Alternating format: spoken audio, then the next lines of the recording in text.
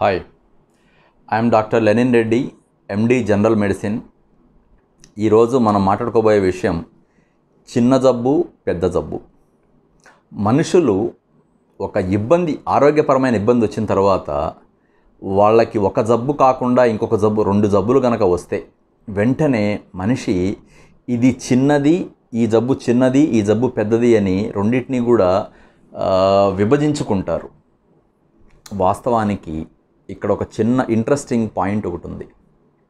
మనలో చాలామంది కొంచెం పెద్ద వయసు వాళ్ళలో ఒక యాభై ఐదేళ్ళు అరవై ఏళ్ళు దాటిన తర్వాత షుగర్తో బీపీతో బాధపడే వాళ్ళకు సంబంధించిన పేషెంట్ల గురించి మనం మాట్లాడుకుంటుంటే ఈ షుగర్ బీపీ వాళ్ళకి గత ఐదేళ్ళ నుంచో పదేళ్ళ నుంచో ఉండి ఉంటే దానికి సంబంధించిన వైద్యం ఎక్కడో వాళ్ళు చేయించుకుంటా అంతా బాగానే ఉంటుంది. కానీ దురదృష్టవశాత్తు వాళ్ళలో కొద్దిమంది పక్షవాతానికి కానీ గుండెపోటుకు కానీ ఏదన్నా కిడ్నీ జబ్బు లాంటి సమస్యలకు కానీ లోనవుతాయి. ఆ తరువాత వాళ్ళ యొక్క ఆలోచన విధానం కొద్దిగా మారే అవకాశం ఉందండి. ఇది నేను నా పది సంవత్సరాల అనుభవంలో చూసిన దాన్ని బట్టి నాకు ఆలోచన వచ్చింది. ఏంటంటే ఆ షుగర్ జబ్బుతో బాధపడుతున్న మొన్నటిదాకా ఇప్పుడు కొత్తగా గుండె జబ్బు వచ్చింది. మొన్నటిదాకా బీపీతో బాధపడుతున్నప్పుడు దానికి అదనంగా పక్షవాతం కూడా వచ్చింది. షుగర్ బీపీ రెండూ ఉన్నాయి మాకేదో బీపీ అని షుగర్ గుండె జబ్బు అంటున్నారు కిడ్నీ జబ్బు అంటున్నారు అని చెప్పేసి. ఇది ఒక మనిషి యొక్క పేషెంట్గా ఉన్న మనిషి యొక్క మానసిక స్థితి మీద ఎట్లా పనిచేస్తుందంటే ఈ జబ్బు చిన్నది షుగర్ బీపీ చిన్నవి గుండె జబ్బు పక్షవాతం పెద్దయి. సో వాటికి ఏదో చాలా పెద్ద వైద్యం కావాలి వీటికి చిన్న వైద్యమైనా సరిపోతుంది. కానీ వాస్తవానికి మీరందరూ పొరపాటు పడుతున్న ఒక విషయాన్ని చెప్పడం కోసమే ఈ వీడియో నేను చేస్తున్నాను. ఏంటంటే మీకు షుగర్ ఉండి బీపీ ఉండి గుండె జబ్బు కానీ పక్షవాతం కానీ కిడ్నీ సమస్య కానీ వచ్చింది అని అంటే ఈ షుగరు బీపీ వలనే మీకు అసలు ఆ జబ్బు వచ్చింది. షుగరు బీపీ అదుపులో లేకపోవడం ద్వారానే మీకు ఆ జబ్బు వచ్చింది.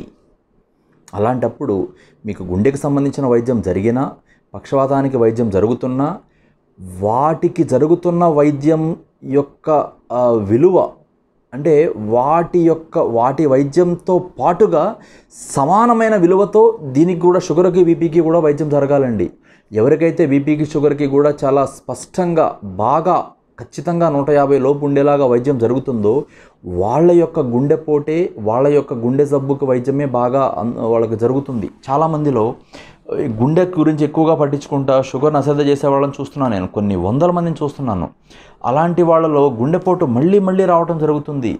గుండెకి ఎన్ని వైద్యం చేసినా గుండెకి స్టెంట్ వేసినా గుండెకి బైపాస్ చేసినా ఇంకోటి చేసినా షుగర్ అనేది నూట యాభై గనక నూట యాభై లోపు గనక లేకపోతే వాళ్ళకి ఎటువంటి ఉపయోగము ఉండట్లేదు. మళ్ళీ అదే ఇబ్బంది ఆయాసం కానీ నొప్పి కానీ బాధపడుతున్న వాళ్ళని చూస్తున్నాను. పక్షవాతం కూడా అలాంటిదే. అందువలన మీరు జబ్బులని విభజించొద్దు. మీరే జబ్బులకి ర్యాంకులు ఇవ్వద్దు. ఇది పెద్ద జబ్బు ఇది చిన్న జబ్బు అని చెప్పేసి. షుగరు బీపీ అనేవి ఈ గుండెపోటు వచ్చిన మనిషిలో గుండెపోటుకి ఎంత వైద్యం అయితే చేయాలో గుండెకి సంబంధించి ఒక నాలుగు రకాల మందులు ఎట్లయితే డాక్టర్లు ఇస్తారో అదే అంతే రకమైన సమానత్వంతో బీపీకి షుగర్ కూడా వైద్యం చేయాలి.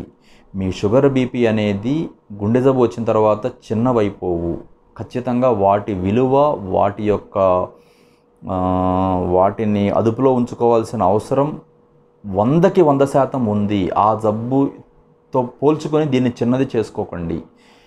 ఇది సైలెంట్గా మీకు వైద్యం జరుగుతూ ఉంది అనే పేరు మీకు ఉంటుంది పెద్ద పెద్ద వైద్యం జరుగుతుందని కానీ మనిషి యొక్క ఆరోగ్యం దెబ్బతినిపోతూ ఉంటుంది. సో దాన్ని కొంచెం గమనిస్తారు అని అవసరమైతే వీడియో రెండుసార్లు చూడండి మీకు స్పష్టంగా అర్థం కావడం కోసం. Okay thank you